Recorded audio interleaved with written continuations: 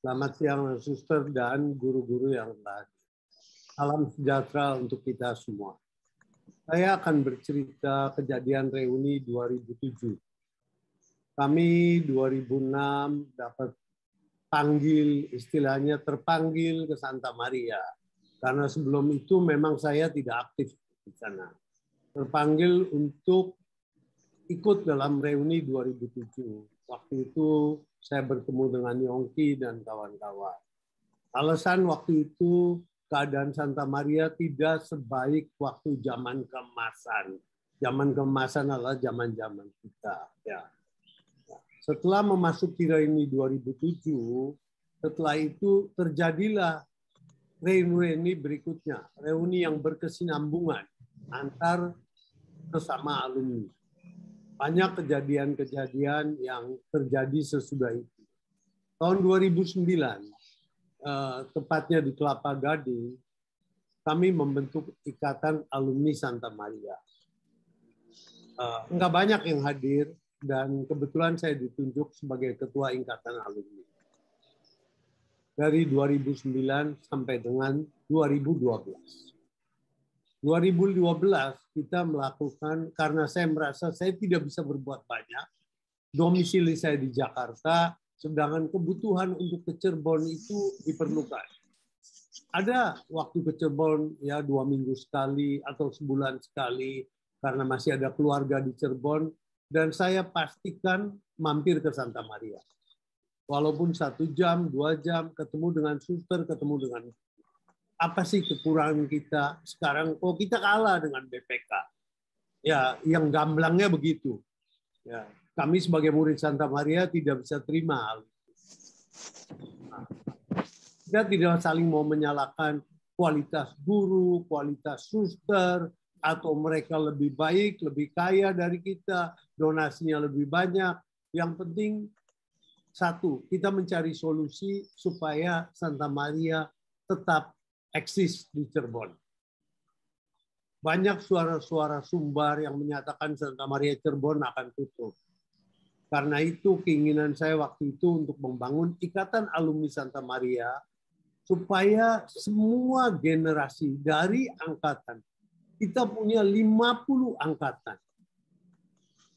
Masa kita semua tidak lupa akan rumah kita yang sebenarnya di mana kita dididik menjadi manusia yang berguna di masyarakat? Apa kita harus lupa dengan asal muasal kita? Yang kita menganggap Santa Maria rumah kita. Karena waktu itu saya tidak merasa dapat berbuat banyak, tidak begitu banyak bisa berbuat, saya melakukan eh, 2012 dan cukup banyak dihadiri dengan alumni-alumni dari Santa Maria dari berbagai angkatan. Mungkin dihadiri lebih dari 200 itu kejadiannya di PRJ Kemayoran.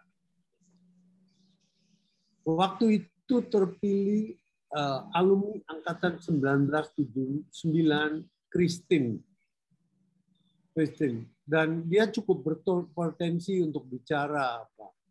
Tapi ada sesuatu hal yang setelah satu seminggu atau dua minggu dia datang ingin ketemu dengan saya mampir ke rumah dan menyatakan dia tidak bisa menjadi ketua uh, sebagai ketua lintas angkatan untuk 2012.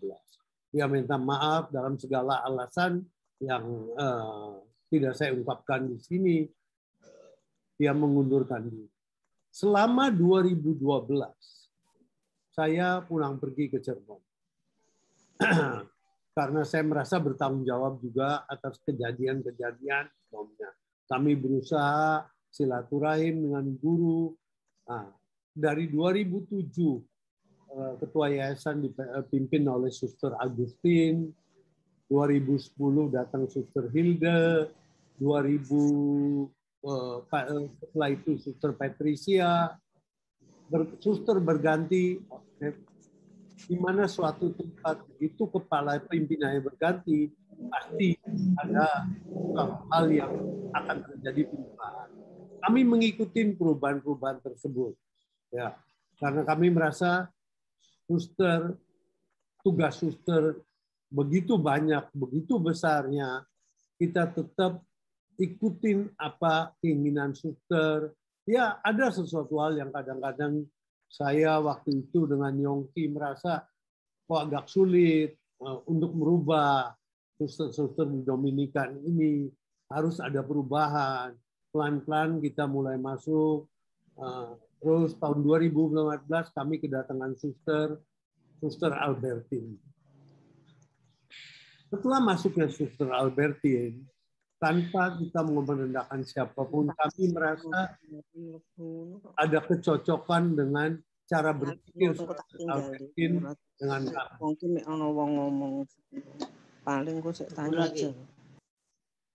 Ya, kami merasa ada satu uh, kesamaan, kesamaan berpikir untuk mengelola Santa Maria menjadi lebih baik daripada tahun 2014.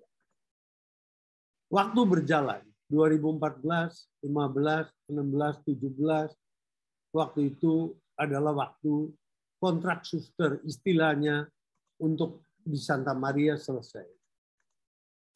Saya berusaha bicara empat mata dengan Suster Albertine. Suster, Suster, kenapa harus harus meninggalkan? Ya, saya hanya bertugas, Pak eh, Manu. Saya tidak bisa bicara banyak karena ini keinginan dari kongregasi.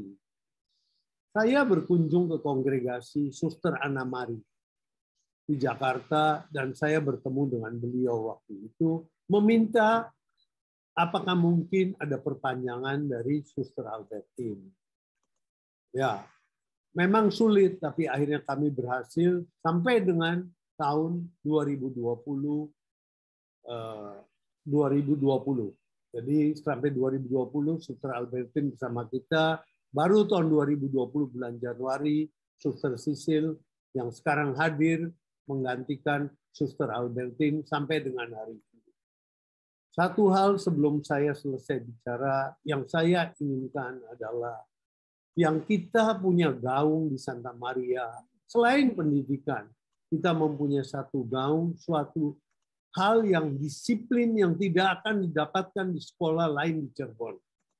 Disiplin inilah yang menjadi modal kita untuk memajukan Santa Maria bersama-sama. Dan waktu terakhir pembicaraan saya dengan Sister Albertine, pada seluruh alumni yang hadir maupun tidak hadir, seluruh angkatan, walaupun dalam keadaan COVID, nanti badai pasti berlalu. Kami semua percaya COVID akan berlalu dari negara kita. Kita inginkan bahwa dari semua alumni, kapan saja melakukan reuni, mampirlah di rumah kita, Santa Maria. Jangan cari hotel, jangan cari jauh-jauh penginapan. Penginapan mungkin di Santa Maria belum ada, tapi eh, kami punya rencana akan membuat asrama di Santa Maria yang nanti mungkin kelanjutannya akan menjadi tempat tinggal untuk alumni-alumni yang akan bereuni ke sana. Tinggal telepon, eh, tinggal menghubungi suster dan kami ada sudah tahun 2019 eh, tanpa tanpa ada persiapan kami menunjuk Ibu Gina sebagai ketua ikatan alumni Santa Maria. Karena kalau tidak ditunjuk tidak ada yang mau jadi angkatan. Tapi setelah Ibu Gina ditunjuk, ternyata banyak yang telepon ke kami untuk menyatakan bagaimana penunjukan ini. Silakan masuk ke ikatan alumni Santa Maria.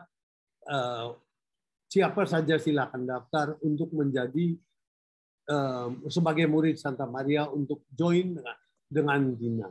Dan saya rasa Ibu Gina sampai sekarang sudah menjalankan tugasnya dengan baik, walaupun dalam keadaan yang serba kesulitan, tapi kita bersama-sama dan sampai dengan ini hari saya masih berkunjung ke Santa Maria.